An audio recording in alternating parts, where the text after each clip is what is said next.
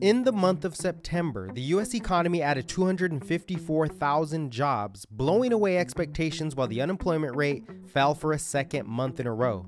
The labor market is strong, the economy is expanding, led by services, and the stock market is holding above the summer highs, which reflects investors' disbelief of an imminent recession. Now, the hurricane put thousands of people out of work, which will translate to an increase in unemployment and a slowdown in economic activity.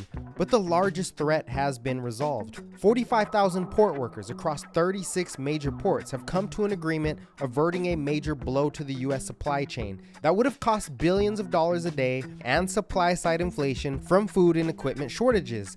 So that threat was averted. The next largest threat is the escalation between Iran and Israel, forcing oil prices higher. An attack on oil tankers and oil production facilities would lead to a supply shock that could take oil prices much higher from here driving up the cost of energy and adding another headwind for the US economy. So investors are hedging with wartime stocks like Lockheed Martin and Raytheon, along with oil related names like ExxonMobil and Marathon Petroleum. Now, since the war escalated October 1st, energy, financials, and semiconductors have outperformed the S&P. ExxonMobil leads energy, hitting all-time highs after breaking a two-year consolidation. American Express leading financials also making all-time highs, reflecting strong consumer spending. Semiconductors led by AMD, which is finally breaking the bullish flag pattern. Palantir, leading AI software, closing at new all time highs. And of course, Chinese stocks are still ripping from bazooka stimulus. So as long as oil doesn't rip to 100, the Fed will keep cutting rates. A strong labor market and bullish technicals mean this bull market can rage higher. However,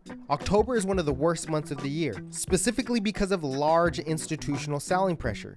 Mutual funds are a $34 trillion industry whose fiscal year ends October 31st, which means they will sell losing investments to offset taxable gains to reduce their overall tax bill. So this makes October one of the worst months of the year before the Santa Claus rally.